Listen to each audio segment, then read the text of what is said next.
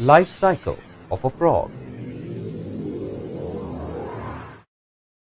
I'm sure most of you would be curious to know how a frog develops into an adult. Let us now perform an interesting experiment. Collect a few eggs of a frog. Keep them in a fish bowl containing water and small plants. Observe the eggs daily.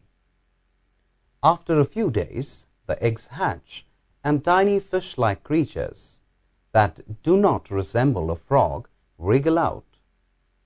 These young ones that come out of the eggs are called tadpoles.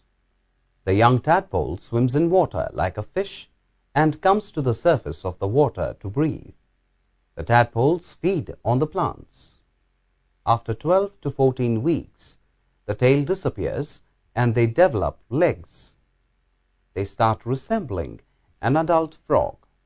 The young frog is now ready to leave the water. Frogs can live both on land and as well as in water.